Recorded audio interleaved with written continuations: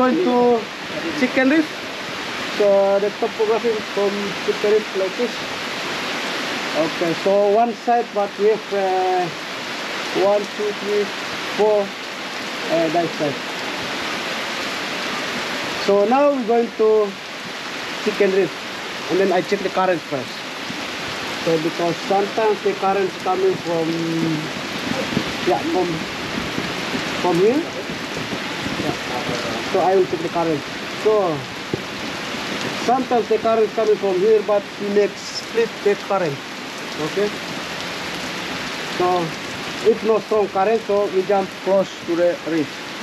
Okay. But I will check.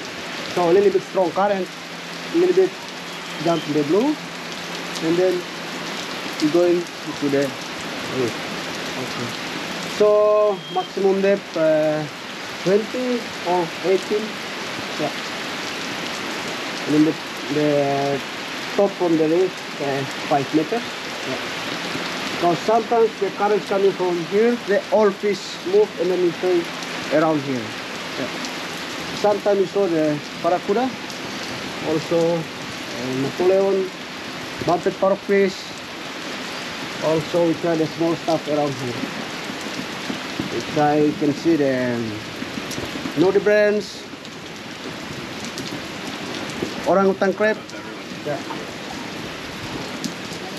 Also, we saw the uh, moray, also the stingray.